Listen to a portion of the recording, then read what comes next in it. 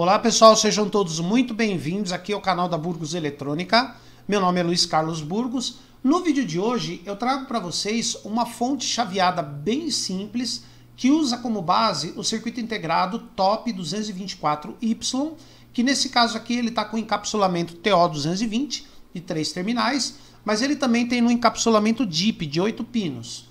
Então, como vocês podem observar, é uma fonte que utiliza poucos componentes, se você quiser, você pode até montar ela, mas você vai encontrar fontes desse tipo dentro daquelas fontes chaveadas que vendem, por exemplo, em casas de materiais e componentes eletrônicos, como aquelas fontes de 12 volts por 2 amperes, 9 volts por 1 ampere, 15 volts por 3 amperes e assim por diante. Antes do vídeo de hoje, eu tenho alguns recados rápidos para vocês.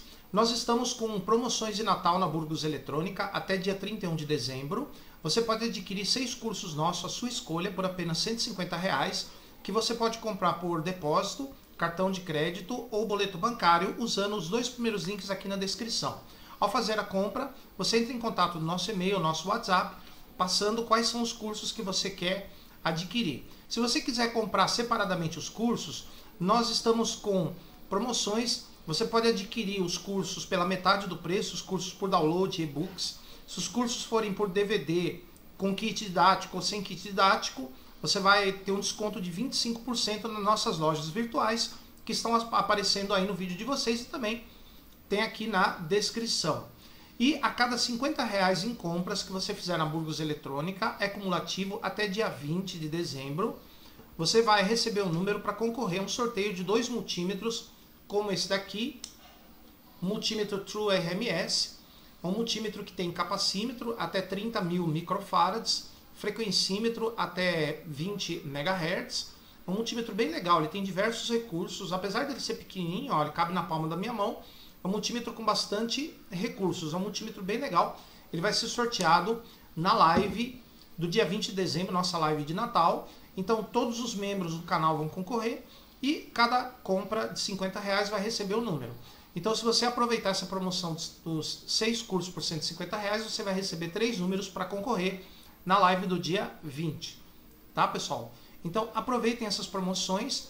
Os números vão ser fornecidos até dia 20, que vai ser o sorteio, mas a promoção dos seis cursos e dos cursos pela metade do preço vão até o dia 31 de dezembro. Então aproveitem e façam suas compras de Natal na Burgos Eletrônica. Se você está aqui pela primeira vez no canal, inscreva-se, ative o botãozinho vermelho embaixo do player, o sininho do lado, para você ser notificado dos novos vídeos e também das lives que fazemos todas as sextas-feiras às 19 horas.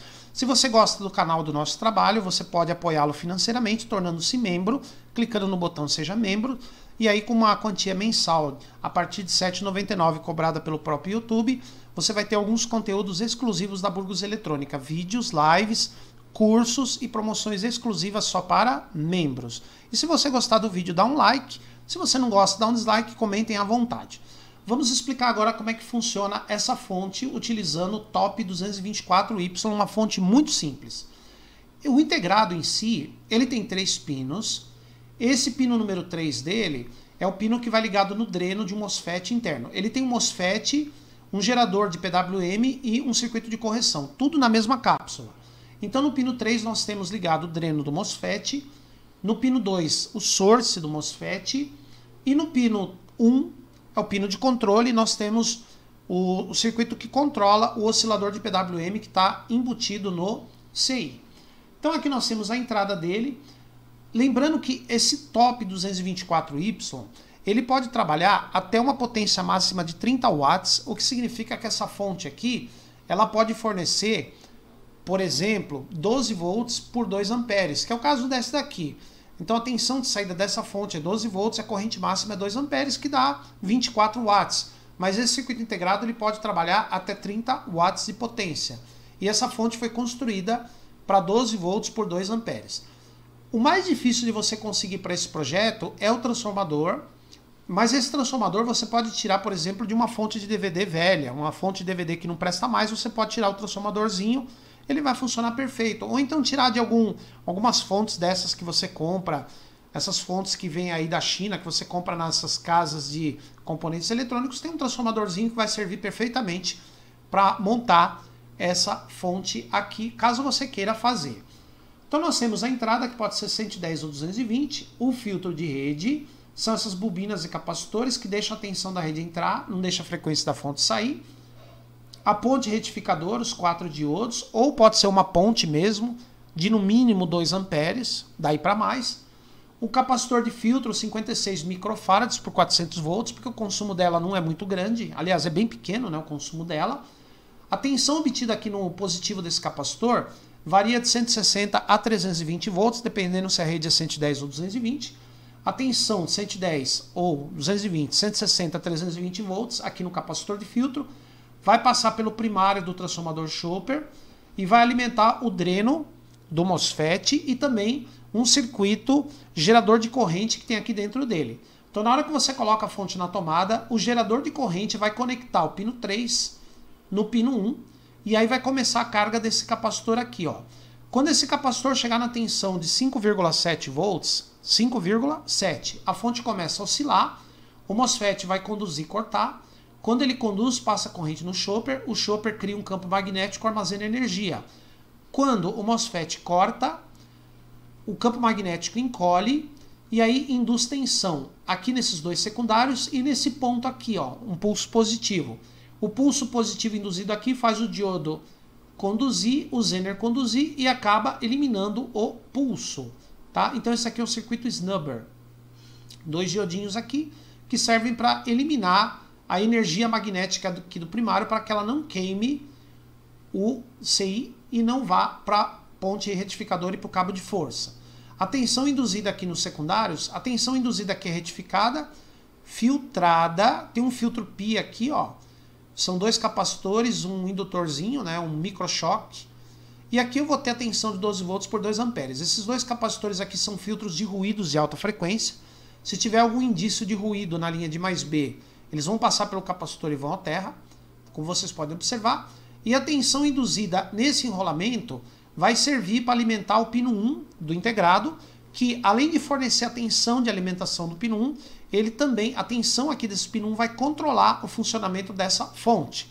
Vai fazer ela oscilar mais rápido, mais devagar e também vai alterar o ciclo ativo desta fonte. Nós temos dois terras, tem o terra do primário aqui, ó, que vai até aqui.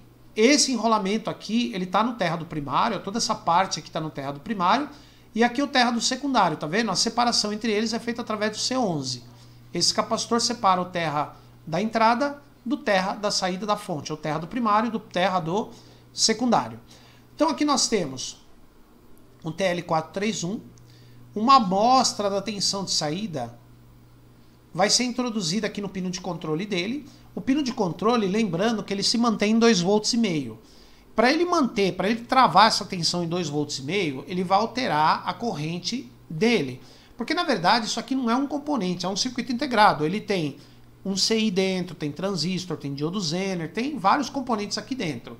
Então, para ele manter os 2,5 volts, ele vai ter que alterar a corrente de acordo com a tensão que tiver nessa linha. Então vamos supor que por um motivo a tensão de saída tende a aumentar. Para ele manter os 2,5 aqui, aumenta a corrente por ele. E se aumenta a corrente por ele, o LED acende mais forte. Lembre-se que se a tensão aqui aumenta, aqui também aumenta. Além do LED acender mais forte, a tensão aqui aumenta. Quer dizer que esse transistor aqui vai conduzir mais corrente e vai aumentar a tensão aqui, ó, nesse ponto. Aumentando a tensão, ele vai reduzir a frequência da fonte. A fonte vai oscilar mais devagar e vai fazer o transistor ligado entre os pinos 2 e 3 chavear mais devagar. Automaticamente a tensão aqui vai diminuir e vai chegar até os 12 volts, que é o valor nominal dele. Agora, se a tensão de saída tende a diminuir, vai acontecer o contrário. Para ele manter os 2 volts e meio, vai diminuir a corrente por ele, vai diminuir o brilho do LED, do fotocoplador. E é claro que se diminuir aqui, diminui aqui. Além do LED diminuir o seu brilho e a tensão aqui diminuir, consequentemente a tensão aqui vai ficar menor também. A tensão ficando menor, diminuindo a tensão no pino, ele aumenta a frequência de oscilação, ele passa a oscilar mais rápido, de modo a aumentar a tensão da fonte aqui nessa linha, restabelecendo ela para 12 volts. Então, esse circuito aqui vai corrigindo a fonte automaticamente. Vai corrigindo a fonte o tempo todo para manter os 12 volts com o limite de corrente. Eu tenho um LED aqui que indica que a fonte está ligada, tá? Então você pode observar que são todos componentes fáceis de você conseguir, os códigos aqui tudo. Mais difícil é o transformador, mas você pode tirar de alguma fonte velha, né? Dessas fontes de DVD player ou dessas fontes portáteis que vende por aí, ou que você pode achar no lixo, inclusive, mas com transformador bom. E você pode pegar o transformadorzinho, pegar os componentes e montar numa placa de circuito impresso, numa fonte, numa ponte de terminais, o que não é recomendável, né? Porque fonte chaveada, o mais indicado é que você monte ela numa placa de circuito impresso. Tá bom, pessoal? Então, por hoje, nós vimos como funciona o CI Top 224. Então, recapitulando, o pino 3 dele tem o dreno do MOSFET, o pino 2 tem o source do MOSFET, o pino 1 é o terminal de controle, o oscilador gerador de PWM está dentro dele, também está dentro dele os circuitos de controle desta fonte. Tá bom, pessoal?